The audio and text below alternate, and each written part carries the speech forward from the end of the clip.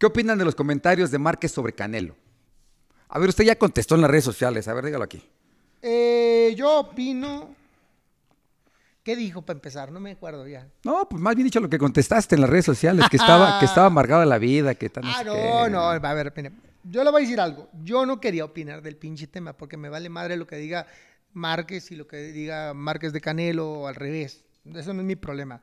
A mí nadie me preguntó, pero resulta que sí. Estaba la pinche conferencia de prensa pa- para presentar la, la- la pelea con los medios de, contra el Siri Salido y me preguntan, oye Eric, ¿qué piensas tú de lo que dice Canelo, de, perdón, Márquez de Canelo?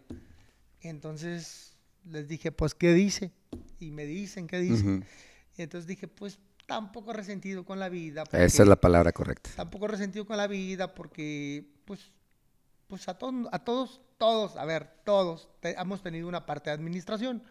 Porque, pues, también pelear con, con, con puro, puro pinche loco, pues, te vas a quedar piratón. Entonces, pues, de repente unas, unas no tan difíciles, otras más difíciles, y ahí le vas, le vas Un sube baja, un campechaneando. sube baja. Un sube baja, le vas campechaneando. Pero eso lo hacemos todos, ¿eh?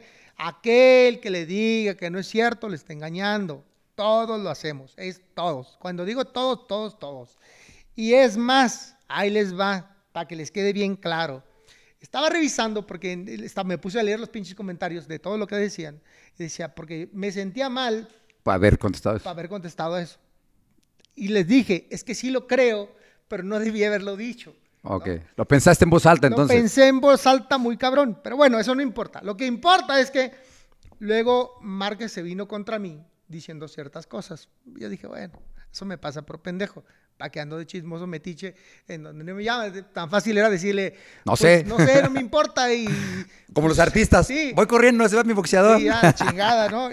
Sin embargo, entre tantos comentarios que leí, vi uno que decía muy cierto, de que se queja Márquez, que ya ves que él dice siempre que a él no le hicieron el paro, a él no le hicieron el favor, él siempre fue chingón. Y luego me di cuenta que ganó títulos, alguien dice, pero si ha ganado seis títulos vacantes Sí. o cuatro o cinco, sepa la chingada ya cuántos, pero ha ganado más de tres títulos vacantes. Ha ganado como dos o tres títulos interinos. Entonces, realmente, solamente creo que ganó un título mundial. Y fue ¿El a completo? No, güey, espera, ¿cuál? Por el- eh, o sea, sin, Sí, sin interino, sí, nada. Sin interino, sin nada, sin, sin nada, chingaderas. Fue, creo que a Pacquiao. Ah, perdón. Y a mí también, ti güey. también. A mí también me lo ganó, era superpluma, Sí, me lo ganó. pero- Pero de ahí en fuera no ha ganado ni un título. Tiene seis títulos mundiales, seis, y de los seis, o siete, no sé cuántos, pero no ha ganado todos de manera contra el número uno, contra el campeón. O sea, y luego se dice, a mí nadie me ayudó. ¿Cómo chingados que no le ayudaron? Claro que le ayudaron. Eh, eh, El, el ofrecerle un título interino es ayuda. Sí, la ayuda es para todos, la verdad, eh, Cabrón. es complemento. No, Entonces- no vas a crecer peleando con el duro, con el más duro, con el más duro. Y que quede algo bien claro. No hablamos mal de Márquez, solamente aclaramos para que luego nadie se quiera sentir uno más chingón que otro. Márquez, al igual que todos, hemos recibido ayuda de cierta forma donde, y no es, no es que recibamos ayuda, simplemente las Te uno más circunstancias- tranquilón. Las circunstancias se dan y te dicen, ah, bueno, mira, eh, está este título interino, seguramente le dijeron a él, porque el campeón está bien duro, te va a madrear, y a este no lo quieres enfrentar, y esta es de otra empresa, mejor agarra a este. Ah, está bien fácil, mejor agarro ese. Pues en el caso de él, yo recuerdo, digo, yo nomás me acuerdo que peleó, y si no mal así, mi cabeza no, porque ya ves que dices que estoy loco, No, y no quedé, tú. y quedé de tanto chingadazo, y lo pueden revisar si me ayudan con el récord de Márquez. Su primer título mundial lo ganó contra el Mantecas Medina. No. Sí, güey. Hijo de su madre. Fíjate que yo sí, como no me han echado tanta bronca, porque no, pues tú no me puedes estudiar. Entonces no sé Espérate, realmente güey, cuál es el estilo. Mantecas Medina, Y pues sí, sí, fight. Mantecas Medina, que es mi amigo y lo respeto y, y- y le envío un fuerte abrazo y un saludo, ya estaba grande, ya había peleado con todos los leones, ya estaba a punto de salir de su carrera, ya había sido campeón del mundo cinco veces y, y, este, y peleó con Márquez por el título mundial. Ese fue el primer título mundial de Márquez. Entonces, cuando dice, a mí no me regalaron nada, hijo de la chingada, no seas chismoso y mentiroso. Aquí lo voy a poner yo, mira. Ahí sale. Fíjate que sí, se ha creado mucha polémica por lo que está pasando. Yo respeto lo que, lo que Márquez o Canelo abren de ambos. Yo creo que cada quien nos tocó nuestra época. Estuvo la época de, Julio, la época de Terrible, la época de Márquez, mi época. Yo creo que es respetable, ¿no? Ahorita es la de Canelo, la era Canelo. Habría que respetar lo que él está haciendo porque pues ya pasamos, ya brincamos ese, ese tema, lo que es eh, que la gente, ¿no? Haga los comparativos. aquí está.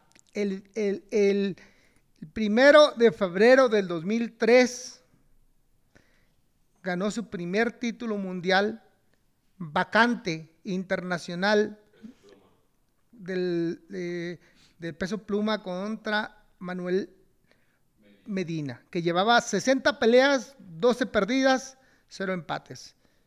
Ya había sido campeón, Mantecas es un peleador más grande que yo, y, lo sé porque él es de, aunque él es de Nayarit, eh, toda su carrera la hizo en Tijuana, el señor es de Tijuana, y, buen amigo mío, peleamos en amateur muchas veces. Hice una exhibición con él en Mexicali.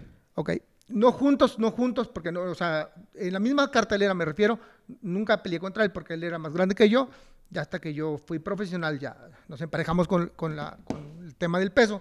Pero Mantecas es un peleador ya mucho más grande, que, mucho, mucho más Hasta grande que, yo.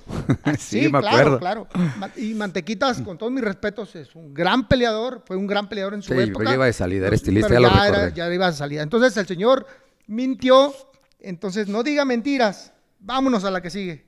No, fíjate, antes que nada, eh, Nacho Beristán respondió a, a, Terrible lo que estaba diciendo de que no sé qué y todo. Dijo que no se haga terrible porque también a él Fernando Beltrán lo ha ayudado Márquez siempre lo dejaban al final y decía no hacer bien las cosas. Dice, Márquez siempre estuvo presente, no estuvo atrás. Lo dijo Nacho Beristana y ahora que estuvimos en pero, A ver, pero, pero, pero claro que sí, o sea, nadie dice lo contrario. A mí sí me ayudaron, sí, sí me ayudaron. Me ayudaron a cerrar peleas contra, contra el señor, contra Paquiao, contra un chingo de cambrones. Y aquella pelea, y es más, eh, ayer, ayer, eh, Martes 16. No, hoy es 16, ¿no? Díselo a la gente, güey. Ah, ayer martes 16. ayer martes 16 de noviembre se cumplió un año más de haber enfrentado a Pauli Ayala. Pauli Ayala, para los que no saben. Era nuestro cliente. Era nuestro, fue nuestro cliente, pero, pero déjenme les cuento. El señor fue campeón mundial peso. Eh, super gallo pluma, creo. Super. Eh, ¿Tú en qué lo enfrentaste? No, eh, en pluma. Fue gallo, campeón mundial gallo, después fue campeón mundial pluma, super gallo, y después intentaba ser campeón mundial eh, pluma contra mí. Era bicampeón mundial, tenía dos derrotas nada más ah, en alguna parte de su carrera. Era un peleador de alto nivel, lo enfrenté yo, pero pues esas eran las peleas que me ayudaban, a aventarme con los leones y ganar dinero. Eso no es malo, ¿o sí? Pues todo el boxeo siempre así, no nada más en el ah, boxeo, en todos los deportes. Pues entonces pues esa es la ayuda que recibía. Me daba chingadazo con todos los buenos. Me madrearon algunos, a otros les gané. Y otra vez, para esos que, dicen, es que ustedes se la pasan hablando mal de Márquez. Nosotros no hablamos mal de Márquez.